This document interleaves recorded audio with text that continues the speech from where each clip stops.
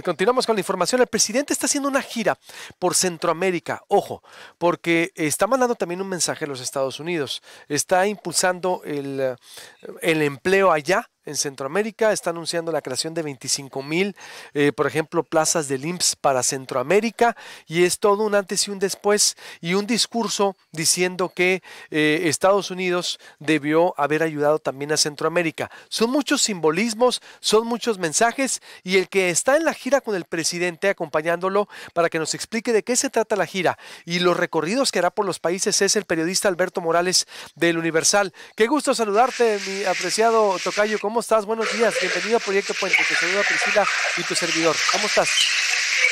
Hola Priscila, hola Tocayo, muy buenos días, un saludo para todo su auditorio. Pues sí, estamos aquí desde la capital de Guatemala, en donde ayer el presidente Andrés Manuel López Obrador llegó en un vuelo comercial acompañado por el, el canciller Marcelo Ebrard a esta capital y donde comenzó decidió ser que fuera Guatemala el, pues el inicio de su gira eh, de trabajo internacional, la primera que realiza por Centroamérica y el Caribe. El mandatario pues se arribó a esta terminal aérea aproximadamente a las 3.20 de la tarde hora local y de ahí pues se, trasladó a un salón denominado protocolo para luego pues pasar a las instalaciones de la Fuerza Aérea Guatemalteca donde fue recibido por el, primer eh, el ministro, el canciller de este país. Luego el presidente López Obrador se trasladó al Palacio Nacional de la Cultura, en donde tuvo su primer eh, eh, bueno encuentro en este país. Ya se había reunido con él en tres ocasiones anteriores. Alejandro Gianatelli, él, ahí se dieron un saludo y comenzaron los trabajos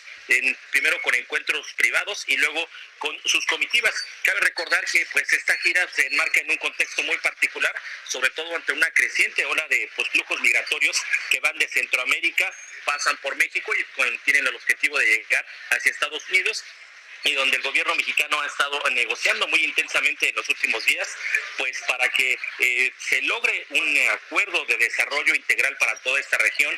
El, gobierno mexicano ha planteado que es necesario otorgar visas de trabajo temporal y para ello pues, pues está planteando que haya un mecanismo de, de trabajo a través de los programas eh, sociales que se impulsan en el país, como el programa Sembrando Vida, que se puede replicar por las condiciones climatológicas y geográficas, también en estos países, eh, Guatemala, en El Salvador y Honduras de Centroamérica.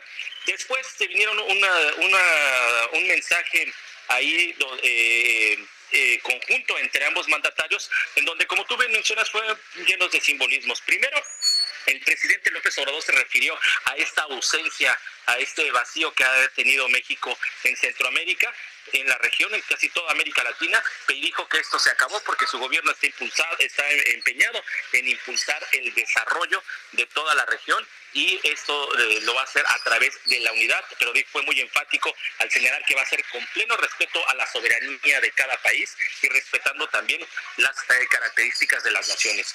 Luego el presidente habló del tema migratorio, que fue uno de los más importantes en esta gira de trabajo, y ahí pues eh, reconoció que este fenómeno migratorio solamente se puede detener con base en la cooperación internacional y el desarrollo.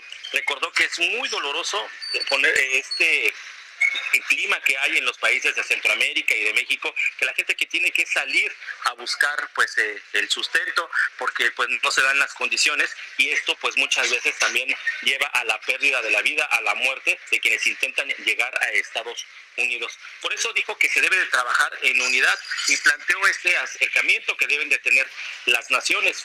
También el presidente Andrés Manuel López Obrador pues se refirió al tema de Estados Unidos. Ahí pues eh, sí hizo una crítica al, gobierno de, Estados Unidos al señalar que él desde la pasada administración, desde el presidente Donald Trump, está buscando que Estados Unidos invierta más de 4 mil millones de dólares en estos programas, en este plan para el desarrollo integral de Centroamérica. Pero al contrario, dijo que pues el Capitolio pues había aprobado en unos días 30 mil millones de dólares para apoyar a Ucrania ante la invasión eh, militar de Rusia.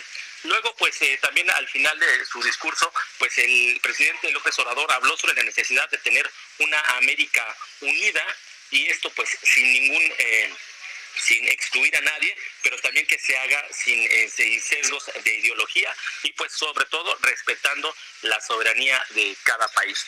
Luego de estos discursos eh, eh, oficiales y también que, pues, como tú mencionas, pues se mencionara esta posibilidad de que 25 mil guatemaltecos allá en el departamento de Petén pues puedan empezar a, trabajar y puedan cotizar eh, por una por medio de un mecanismo ante el, ante el IMSS, pues hubo una cena de honor ahí en el Palacio Nacional de la Cultura entre ambos mandatarios. El presidente López Obrador eh, viajó también acompañado de una comitiva muy eh, reducida.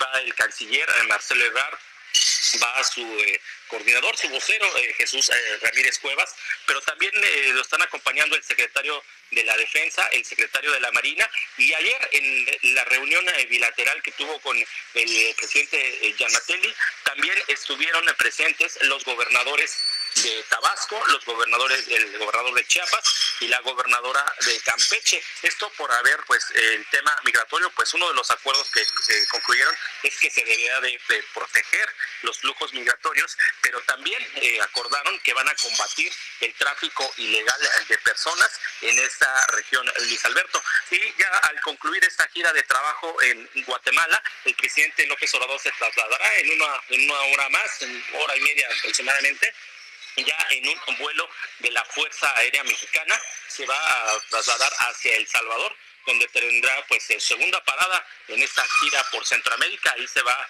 reunir con el presidente Nayib Bukele y después de estas eh, reuniones bilaterales el presidente volverá a tomar este vuelo de la Fuerza Aérea y ahora eh, irá hacia Honduras donde se reunirá con la presidenta Xiomara Castro. Luis Alberto. Entonces, Guatemala, El Salvador y Honduras.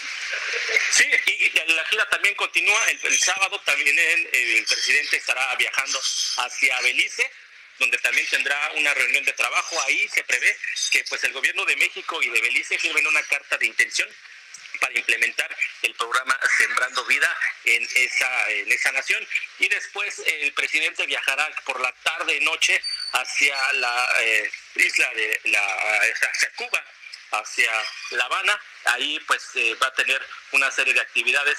Se prevé que solamente, eh, bueno, va a llegar el sábado por la noche, ahí pernoctará Después comenzará muy temprano el domingo, a las 10 de la mañana se tiene previsto que acuda a la Plaza de la Revolución, ahí al monumento a José Martí, va a este, depositar una ofrenda floral, podría montar una, guardia de honor y después eh, se, dirigirá hacia pues el Palacio de la Revolución y ahí pues tendrá eh, de Cuba un encuentro con el presidente Miguel Díaz Canel para eh, pues estrechar más la relación y la pues la colaboración entre ambos países, Luis Alberto. Oye, pues va a estar muy interesante que eh, pedimos mantenernos en contacto el, lunes eh, porque sí es algo yo creo inédito en el gobierno López Obrador en lugar de empezar la gira para Europa o para Asia como comúnmente se hace, él cambia la narrativa y se va a Guatemala, El Salvador, Honduras, a Belice, a Cuba, por ejemplo, no no va, no va, va a estar pues en gobierno gobiernos que son incómodos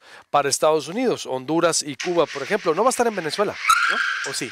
No, no, no, no, no incluye Venezuela esta gira, solamente son estos cinco países.